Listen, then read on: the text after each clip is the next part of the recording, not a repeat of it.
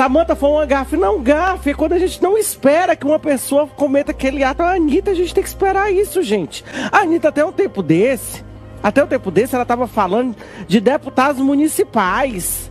Aí uma mulher dessa, rapaz, que não sabe nem, não sabe nem apontar o Brasil no mapa.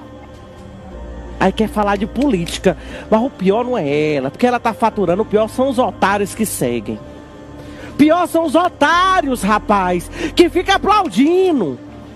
Uma jumenta dessa. Jornalista Samantha Cavalcante mandou uma indireta à dita cantora Anitta após a Anitta participar do Rock Rio em Lisboa, em Portugal. E ela ter levantado uma bandeira da Espanha, como disse Samantha.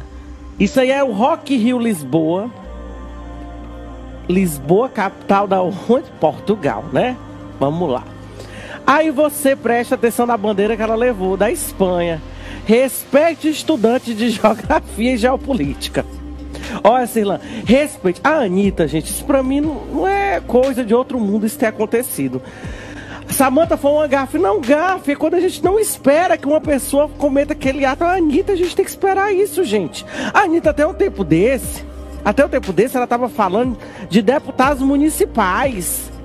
Então, gente, eu acho que tá no lucro os fãs dela de ter passado só por isso. E ela também de estar tá em Portugal, levar a bandeira da Espanha, sendo que existe uma rivalidade histórica entre os dois países. Respeite as aulas de geografia. Aí uma mulher dessa, rapaz, que não sabe nem, não sabe nem apontar o Brasil no mapa. Aí quer falar de política. Mas o pior não é ela, porque ela tá faturando. O pior são os otários que seguem. Pior são os otários, rapaz, que fica aplaudindo. Uma jumenta dessa.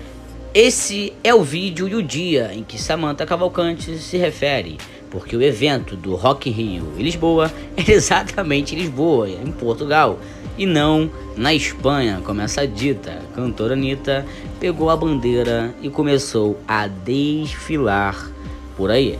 Mas eu lhe pergunto, qual a sua opinião sobre este ato da dita cantora Anitta e as falas da jornalista Samantha Cavalcante? Se você quer nos apoiar, deixe agora o seu like, compartilhe com seus amigos, porque eu fui.